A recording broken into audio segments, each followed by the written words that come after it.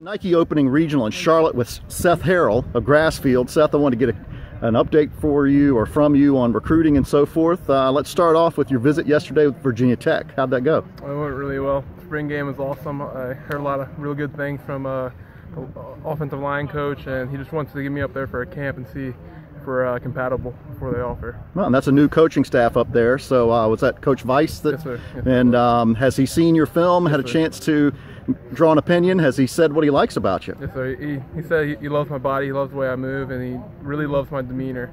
How I like it means something to me when I play. Well, and you're. Uh, I noticed you've grown since last year. You're up Yes, to what height and weight? Why? Six four, three twenty four.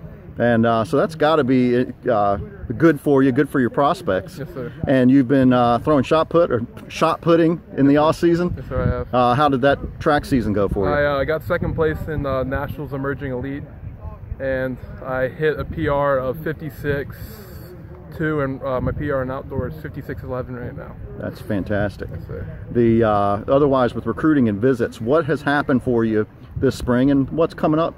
A lot of college visits. Just I, um, or a lot of colleges came in. I visited me at school, and they would like me to get up there for a one day, and they're just.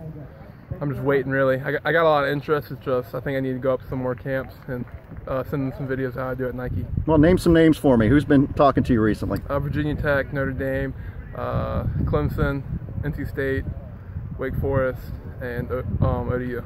Now, and nobody's pulled the trigger on an offer yet, but uh, do you feel anybody's close? Uh, I think Virginia Tech's close. I think NC State's close. I think Wake Forest is also close. So I'm waiting. Just a matter of who's going to pull the trigger first. Yes, sir. And uh, any plans on if someone offers or if any particular offers come in on a decision, or you think you're going to play it out and run, do official visits and so forth? I'm gonna take a matters with schools really. Just I gotta weigh my options.